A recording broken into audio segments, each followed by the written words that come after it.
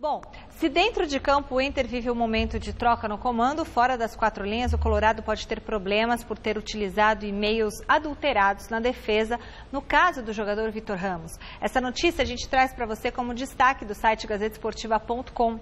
O STJD definiu, nesta manhã, o fim do inquérito aberto contra o Internacional sobre o caso Vitor Ramos. De acordo com o comunicado oficial da instituição, o Inter não foi responsável pela falsificação dos documentos mas, ainda assim, determinou o pedido de denúncia contra o clube, uma vez que este usou de documentação adulterada para comprovar a sua tese. Um dos artigos no qual o Internacional pode ser enquadrado por ter anexado ao processo as cópias, que além de falsas, faziam parte de uma conversa privada, é o 61 do Código Disciplinar da FIFA.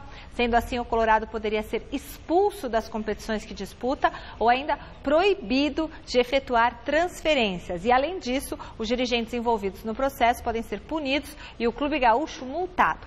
De acordo com o setor jurídico do Inter, a denúncia é exagerada e eles não temem a exclusão do campeonato. Eles elogiaram a investigação que descobriu a origem dos e-mails falsificados, mas eles se disseram tranquilos, porque isso não teria sido feito pelo Internacional.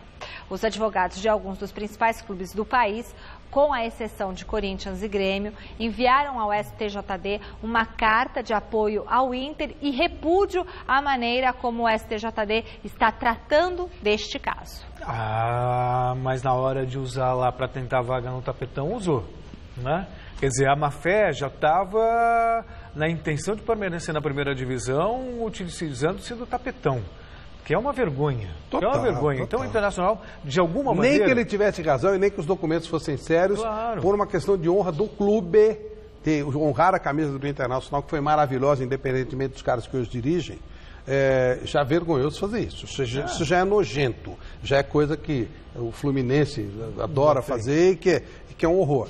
É, além disso, usou documento falsificado. Eu também estou na tua linha. Isso é um sistema político, é um esquemão, eles vão se acertar. Mas se for, se for... De, Cumprir a lei? Não, e se for, se o Internacional for eliminado, que não vai ser, eu vou apoiar. Está na hora de tomar vergonha. Você usa um material. Você usa um pleito vergonhoso para a história do seu clube. Sim. Com documentos falsificados. É, é, sabe o que eles deram a entender? Nós somos bobinhos e fomos enganados. E quem foi ah. que enganou, então? Quem foram? Quem, quem que Não, fez? Não, foi. Eles pegaram esses documentos de uma transação com o futebol mexicano e tal e alguém teria falsificado e passado para eles. Provavelmente eles compraram esses é. documentos de alguém. Sabe aquele esquema Alguém todo? falou assim, olha, eu tenho um documento aqui, pode te salvar da primeira... Da, da... Mas deve ter comprado ah, de alguém, então alguém levou dinheiro, Pô, então tem que esquema. entregar essa pessoa. Não e aí, é, tá bom, mas essa pessoa é um picareta intermediário. Sim. Aí o clube pega isso, e apresenta como prova. E não tem culpa? Não, tem que ter, senão Total, total, tem que detonar no mesmo. No processo, se você apresentar documentos falsos, coisas falsas, vai ser então, sua E outra coisa, imagina, e se colasse? Ia prejudicar claro, o time que ganhou então, Vamos imaginar, a gente aqui na condição de jornalista,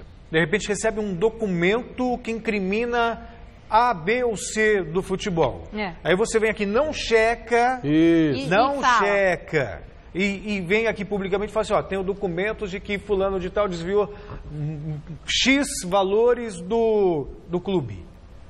E aí comprovam que esse documento que eu estou mostrando e é falso. E precisa ver também. Quem é que vai responder? E precisa ver por que é que esse documento chegou no clube. Aí se foi uma coisa assim lúdica ou se é teve claro. grana por trás disso. E né? aí vai adiantar eu falar que, ah, eu recebi esses documentos falsos, eu não sabia que era Pelo falso. Pelo correio, não por sei isso quem eu mandou. entrei com ação ou, ou eu fiz a denúncia. Não, gente, Responsabilidade é... total. É, é vergonhoso isso aí. Bom, vote na enquete que está no ar no site gazetesportiva.com. A gente quer saber o seguinte: quem avança para a próxima fase da Copa do Brasil? Inter ou Palmeiras? Tomara que seja o Palmeiras, né? Resultado no final do programa de hoje. E aí? Eu acho que com muito sufoco o Palmeiras. E aí, Fabinho? Também, mesma coisa. Acho que o Palmeiras se classifica no sufoco, mas classifica. Não descarto nem os pênaltis.